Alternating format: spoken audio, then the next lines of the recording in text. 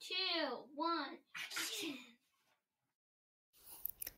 Hi, everyone. Welcome to another My Kids Locker Empathy Tales episode. This is Victoria Woelders, your host. I am also a mother, a wife, a teacher, and now a mindful educational storyteller. All these stories I share were the stories I sh- shared with my students and my kids. Some of them were shared with my students, but all of them were shared with my kids at their bedside. And I'm excited to be able to record these episodes, not only for them as a legacy, but also for my students to be able to listen to. All of these stories are meant to encourage connection, empathy, and compassion. Well, today's episode is called The Paper Butterflies. The story came from my son making paper origami butterflies. I took his idea of making the butterflies and I put it into a story within the Oak and Eagle Kingdom. The paper butterflies in these stories is a form of hope. So learn how these paper creatures come to build love and connection. Thank you so much for being part of our episode today, and I look forward to connecting with you at mykidslocker.com if you have any questions, insights, or maybe a new story that I can add to the Empathy Tales collection. Until then, I hope that you enjoy this story. So without further ado, and you are all comfortable, then I will begin. Thank you. Here we go. So we are at November 20th, or is it the 19th today? What date are we today? Well, sometimes it is 19th. Okay, so we're on the 19th, Literally does not matter. 2019. And this one is called The Paper Butterflies. Once upon a time, a long time ago, in the land of the Oak and Eagle Kingdom, in the land of the Eastern Eagle, there was the fairy forest. And in the fairy forest, there was this very small village called the Butterfly Fairy Village. Now, the Butterfly Fairy Village was very interesting village because the wings of these beautiful, exquisite fairies were just so detailed. They were so beautiful, like monarch butterflies. It was almost like someone had taken a stained glass window and had etched it with with many, many different types of colors. Light blues, pinks, greens, yellows, oranges, turquoise, auburn, and had taken a beautiful paintbrush and individually hand painted each of their wings. Their wings were known throughout the entire Oak and Eagle Kingdom. And one thing that was really interesting was there was a curse that was put on this butterfly fairy village, and it was put on by the uh, land of the Eastern Eagle's wizard.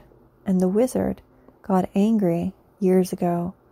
He got angry because they were flying way too high and way too wide, and their wings were bashing into um, the trolls, and the trolls were being distracted because they were so beautiful. So the wizard casted curse, and he grew a hedge of bushes as tall as eight feet, and it surrounded the entire village. And if any butterfly villager were to leave the um, village, then what would happen? Would all of a sudden their wings would turn to paper butterflies. So there was this beautiful fairy, young fairy. Her name was Anastasia, and she had the most exquisite wings. They were pink, and there was colors like pearls and uh, triangles and shapes that were turquoise and were as blue as the eye could see into the sky. They were gorgeous, and there were parts of her wings that were translucent, and you could see right through. And when the sun hit her wings in a certain angle, they glistened as if it was um, glistening on a lake, or the sun was glistening on the lake. Well, she would often go to the edge of the, the fairy village and she'd look out. Sometimes she even was able to peer through the hedging. And one day she happened to see a huntsman, a huntsman fairy that would walk on the path.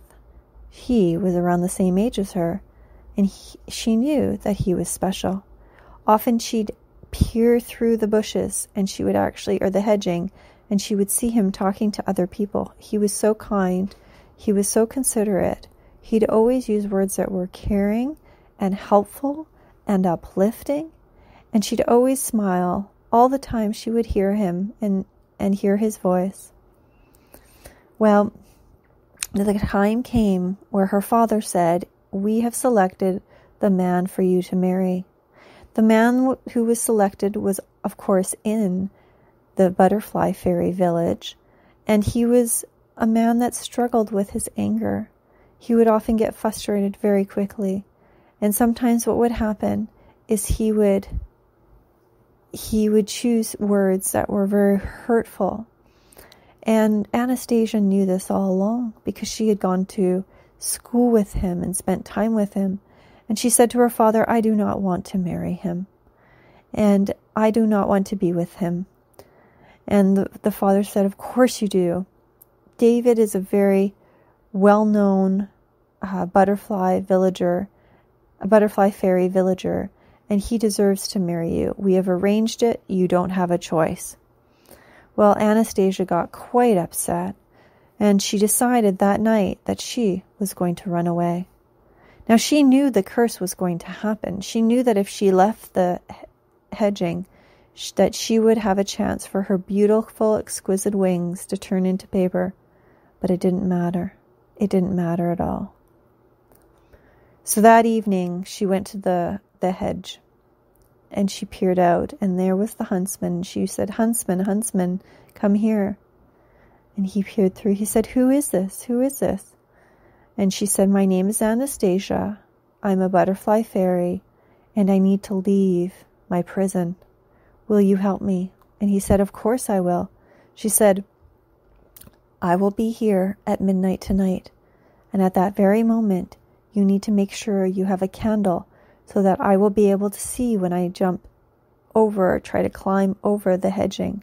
He said, I will be here, and I will be here with a large lantern so that you be able to see when you jump over. So that night, at midnight, she packed her bags and she managed to crawl out of her window and to the hedging.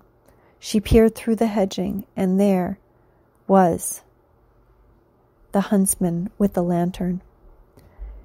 She said, I'm here and I'm going to climb now. And as she climbed over and jumped down, all of a sudden, her beautiful wings that were there for one minute, that were so beautiful and glistening, and made the huntsman butterfly stand in awe, just dissolved into paper butterflies, and they l- laid down at her feet, flapping their wings.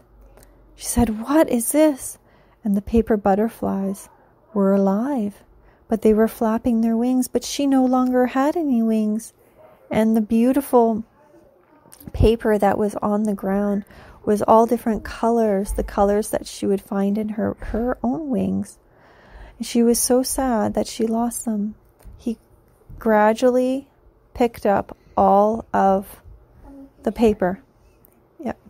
He, she grad, gradually, they both gradually picked up all the little paper butterflies and they put them in a, in a, in a basket and they quietly walked down the road.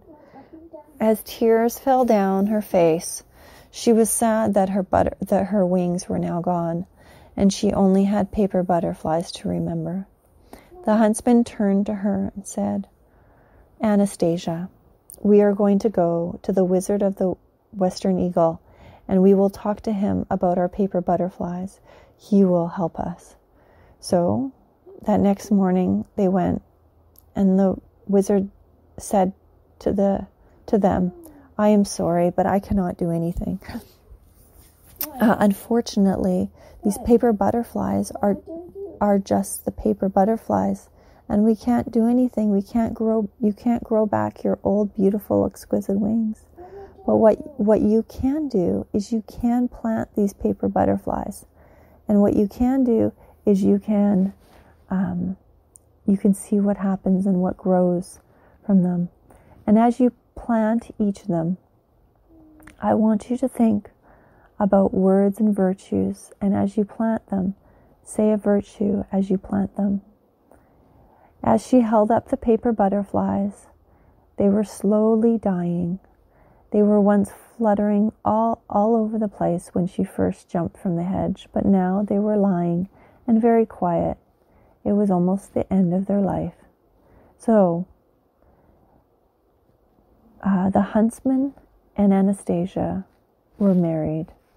And as they moved into their new cottage, they had a beautiful garden, and all the butterfly, paper butterflies that they had were all kept in a beautiful basket.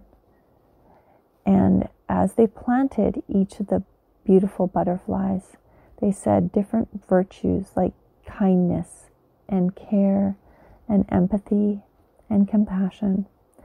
And as they did that, uh, Anastasia's tear would drop into the over on top of the beautiful paper butterflies and they'd cover it with soil.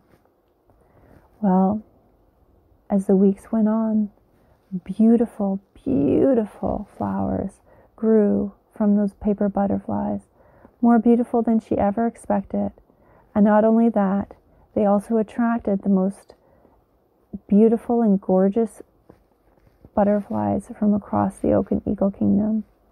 They were soon known to be the Butterfly Cottage, and they knew that the paper butterflies, even though at first were a tragedy, ended up becoming a blessing in the end. And from that point on, people would visit their cottage and say, What a beautiful garden you have, and what beautiful butterflies you have. And they would just smile and remember that even in their loss, there was a gain. And they lived happily ever after. The end. Well, thank you so much for listening to the Paper Butterfly episode 73. Thanks to James for the idea because he watched a YouTube video on how to do an origami paper butterfly balm, and he was the one who suggested the idea today. So thanks to James. Signing off from another empathy tale. The end. Thank you so much for joining us today for a story called The Paper Butterflies. This story was brought on by my son who makes butterflies out of for origami. So I hope that you enjoyed this story. As we walk away from the story, I hope that you will take some time to think about what it means to love each other. I hope that today you will be able to think about when you loved, or perhaps make a conscious effort of when you can love.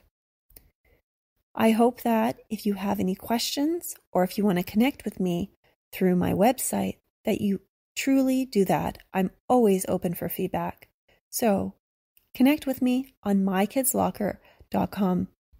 Well, this is Victoria Woelders, your host of the My Kids Locker Empathy Tales podcast. Thank you so much for joining us today. And until next time, I hope that you too will create compassion one story at a time. Thank you.